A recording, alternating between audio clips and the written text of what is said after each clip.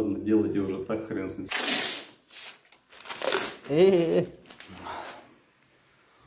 Смотрите, какое лицо. Ребят, всем привет! Вы на канале Балкончик, с вами Александр Долинский. И сегодня мы покажем вам, как электрифицировать вашу теплую лоджию.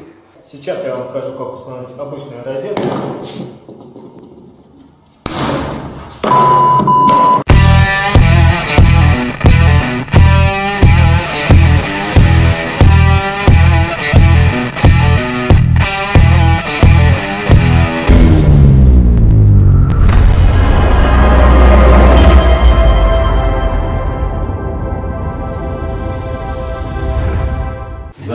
Мы обычно от ближайшей розетки, то есть это либо комната, либо кухня, если ваш 6-метровый балкон.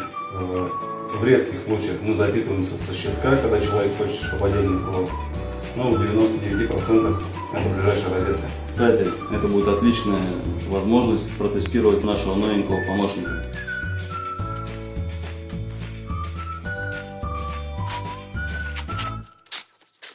Люк задраен, погнали. Может потом сейчас писать запотеет. У меня такое ощущение, что я где-то не с вами. Это Талиб. А это пилот. Так как мы не очень часто делаем штробы, а тем более так много штроб, как на этом объекте, нет необходимости в штроборезе. Мы просто пропиливаем границы штробы алмазным диском и выбираем из нее бетон перфоратором. Задача эта несложная. Пили да долби. Напрягает много цементной пыли, которая забивает все естественные отверстия, а также перекрашивает майку в насыщенный серый цвет. Вот так выглядела такая же процедура без использования пылесоса.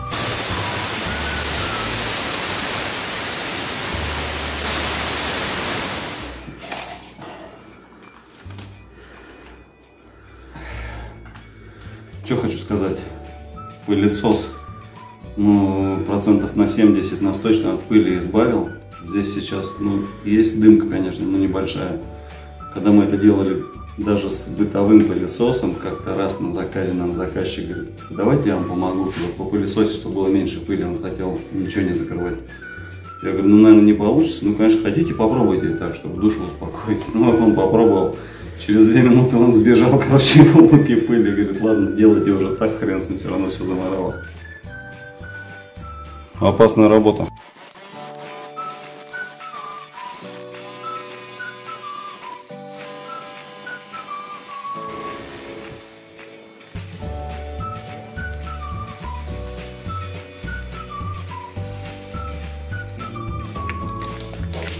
Проход готов.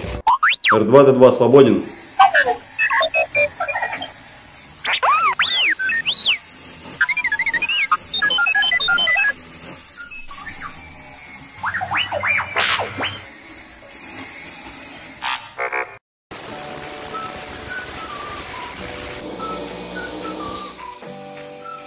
На лоджии нам необходимо сначала разметить согласованное с заказчиком положение распредкоробки, выключателя и розетки, а также сразу намечаем расположение штроб. И снова пилить, пилить, пилить, пилить, пилить, пилить, пилить, пилить, пилить. Кстати, раньше я пробовал пилить бетон абразивным кругом по камню. Брал бошевскую миллиметровку. Работать алмазным диском гораздо приятнее и быстрее. После 15 минут резанины болгарином руки устают от вибрации, и пальцы затекают от того, что ты как сумасшедший вцепился в болгарку, боясь выпустить ее из рук. Поэтому мы периодически подменяли друг друга.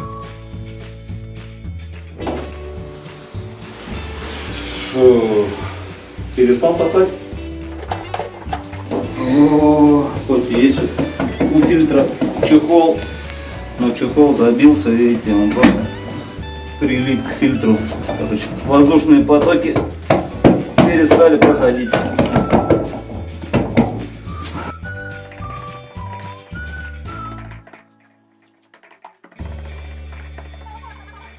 Вообще этот пылесос предназначен для использования с мешками.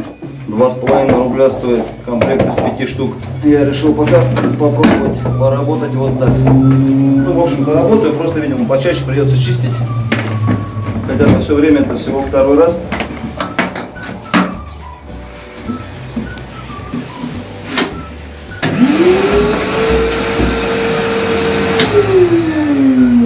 Работаем. Поехали дальше. Глубина штробы должна быть не менее 20 мм, чтобы дюбель-хомуты, удерживающие кабель в штробе, в дальнейшем не выпирали из-за плоскости стены, а углубление под распред коробку и под розетники не менее 50 мм. Как-то пару лет назад я купил алмазную коронку Bosch по бетону за 4200 вместе с хвостовиком и центрующим буром. Ну, думаю, теперь буду делать быстро, ровненькие, аккуратненькие посадочные подрозетки. Как же я заблуждался. Оказалось, что я надо было не долбить, а сверлить. Типа, чтобы при каждом обороте она по чуть-чуть выбирала и углублялась в бетон. Но для таких дел нужна реальная дурмашина, а у обычного перфа дури не хватает. Еще кирпич кое-как я разок сделал, а бетон даже пробовать не стал. Уже потом я прочитал в интернете, что коронка предназначена для сухого сверления. Так что при выборе коронки будьте внимательны, не повторяйте моих ошибок. После такого разочарования я решил по старинке, болгарочкой.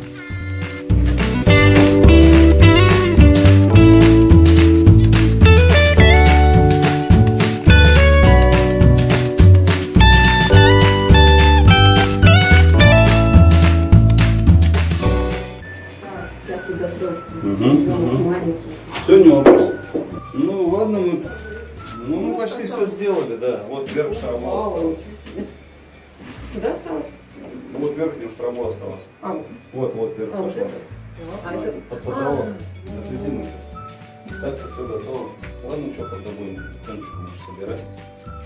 Наверняка каждый мужик знает, что такое смежные розетки. В нашем случае провода приходили к розетке в зале, а уже от нее была запитана розетка на кухне. При таком раскладе подцепиться к ней мы уже просто не могли. В розетке тупо не было места для третьего комплекта проводов. Пришлось перекидывать приходящие провода на кухонную розетку. Так как квартира жилая и на кухне хлопотала хозяйка, мы просто не имели морального права отключить ей электричество. Поэтому работали аккуратненько, под напряжением. 220 не опасно для здоровья и жизни. Всю разводку на лоджии мы выполнили медным проводом 1,5 мм сечением. Во-первых, вся проводка в квартире выполнена полторашкой, а во-вторых, для лоджии, теплого пола и, например, обогревателя этого более чем достаточно. На каждый электроприбор из распред коробки выпускался отдельный провод, никаких параллельных зацепов. Время обеда прошло, и мы смогли продолжить делать штробы.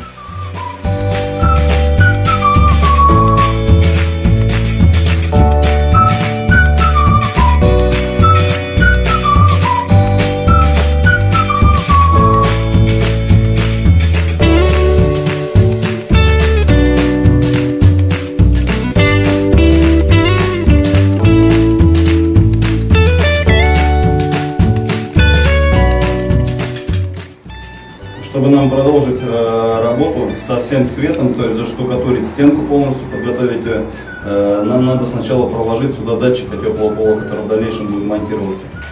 Подробнее про датчик будет в выпуске про теплый пол. Запускаем в распределительную коробку приходящий провод из розетки в зале и выпускаем три выходящих. Выключатель, розетка, теплый пол. Плюс второй ноль на потолок. Не было трехжильного провода, поэтому второй ноль я делал отдельно. После сборки коробки подпениваем ее по краям и оставляем минут на 20, пока пена подсохнет. Бытует мнение, что нельзя ставить подрозетник на пену. Давайте разберем этот вопрос.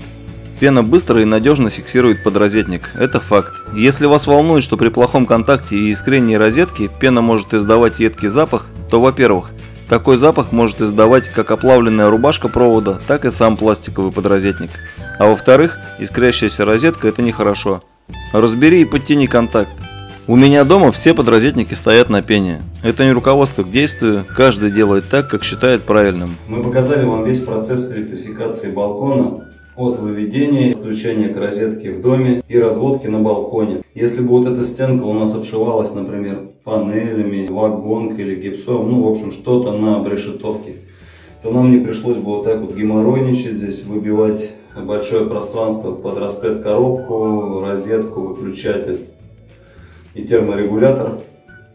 А также не пришлось бы штробиться под проводочки. Было все просто банк спрятать в том пространстве, где были бы бруски. Но сегодня нам пришлось погеморройничать. В общем, мы с задачей справились полностью. Вывели электричество, подняли провод на потолок. Потом будут э, светильники на потолке. опустили провод для теплого пола пленочного, вон туда он уходит, и сразу смонтировали датчик. Все готово, разводка завершена.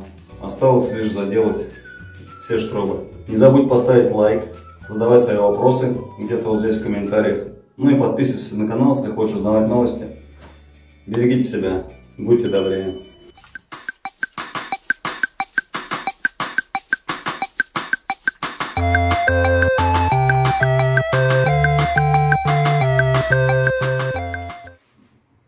Штукатура от Бога.